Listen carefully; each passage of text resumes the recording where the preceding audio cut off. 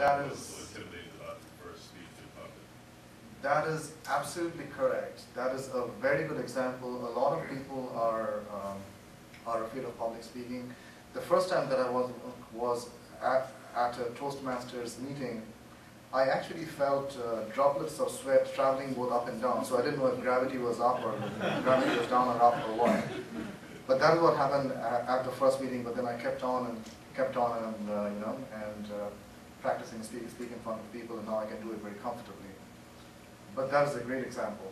Any other examples?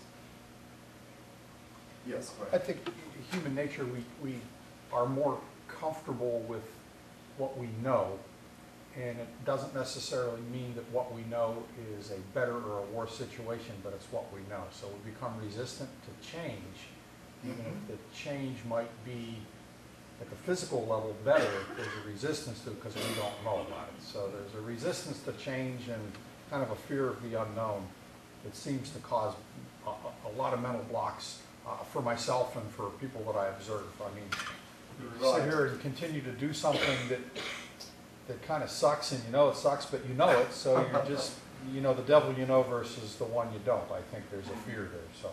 That is correct. The resistance, resistance to change is a huge factor. It's a huge factor for not only for individual but but for entire companies to have a block in their progress because the company doesn't want to change or the individual doesn't want to try something new. So that is a huge factor. Now that is partly intellectual and partly emotional. The, the intellectual part is that you are not familiar with something new, so you're kind of hesitant to train your mind to do something new. And the emotional part is just that you are scared of the unknown. So these mental blocks come, uh, you know, they don't always belong to just one level, but they might overlap several levels. Well, I have done practice driving with my teen, and I have to say, all three levels were hit. The physical, not so great, almost hit the mailbox. The emotional Uh-huh. And the intellectual, they just don't know the rules like they should. So I think on all levels, it was a huge block. Okay, okay. Um, But I never would have thought of that unless you told me, so thank you. Sure, sure. Um, But that's a, it's a great example. Okay, s- so we talked about uh, how to overcome different situations. Let me-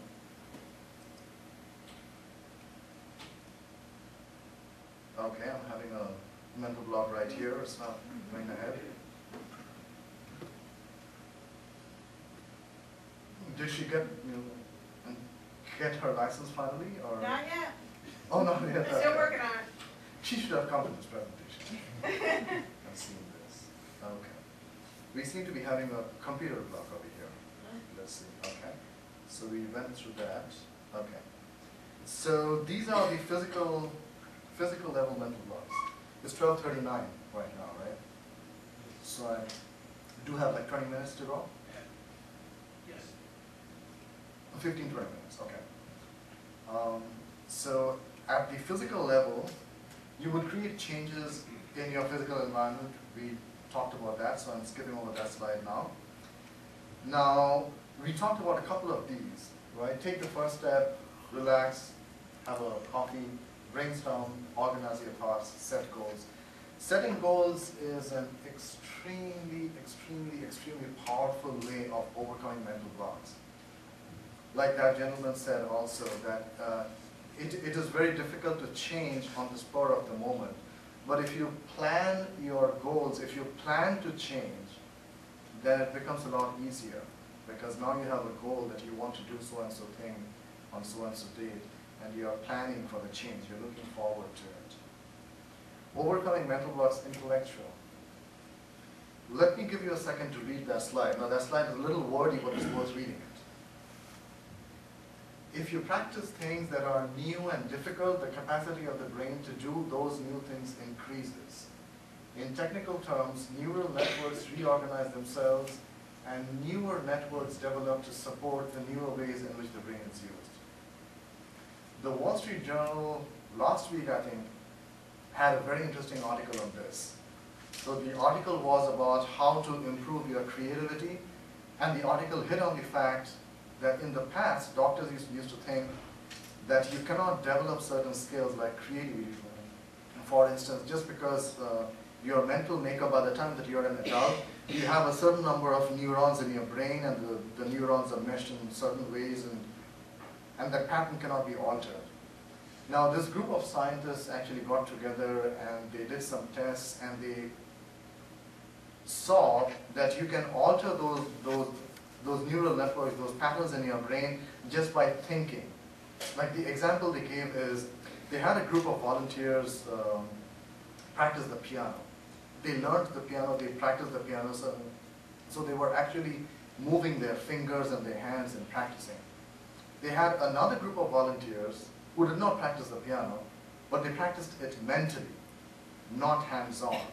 They went through the motions in their mind about actually working with the piano and hitting the keys and so on and so forth. And they found identical changes in the brain, the physical structure of the brain, for these two groups of people.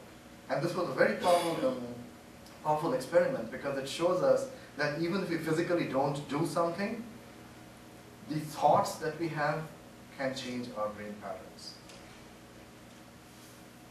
So guess what is happening to your kids who watch all those violent movies? Think of their brain patterns. And that is what a lot of people are concerned about, those violent video games and how they affect uh, kids. This uh, shows this tiny guy over there, you know, rearranging the wires in his brain. It's just a, a metaphor for, uh, for rewiring your brain, the physical, physical structure of your brain changes the more you do different things. Overcoming mental blocks intellectual. So uh, a big cause of mental blocks is actually because the information that you've got from outside has not been trans transformed into knowledge. So you have a whole mass of information, but the information is not organized. It's, it's just like having a book with you without knowing what chapter has what. Then we can talk about lateral and vertical thinking and welcome change to hit the point the gentleman just talked about. Information or knowledge. So we have a book and unless and until you convert all of that information into meaningful data and process that data in your mind, you will not have converted that to knowledge. Any thoughts about that?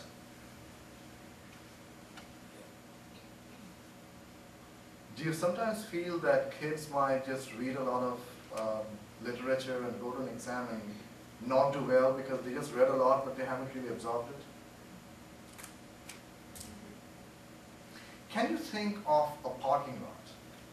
Think of um, the local mall that you have maybe gone to during Thanksgiving, or maybe during Thanksgiving you avoided that mall for certain reasons. And think of how the parking lot of that mall would look during Thanksgiving, where people are all over the place. Uh, there are cars inside, uh, you know, the parking lot. There are cars parked, and there are people waiting for uh, for spaces to get emptied.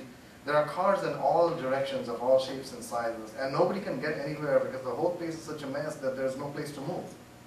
Think of a parking lot like that. Picture that parking lot in your mind, and think about that as being a mass of information that is not moving anywhere for the simple reason that it is so disorganized. Right? Now think of the same parking lot on a regular day when the crowds are a lot thinner, when the cars are parked neatly, and you can drive, drive in the parking lot because there's plenty of space to drive, and you can easily navigate the parking lot, find your space, do your shopping, get out of the space, drive your car back home. Think of how different the two pictures are. The second picture is where you have organized your thoughts. And your thoughts have turned into knowledge. That is what I have tried to tell the students that I have coached um, when they were like undergraduate students. And they had problems in doing math problems just because they had a different background. Their mind wasn't used to thinking in terms of mathematics and in terms of, you know, um, mechanics of materials, motion, things moving, levers moving.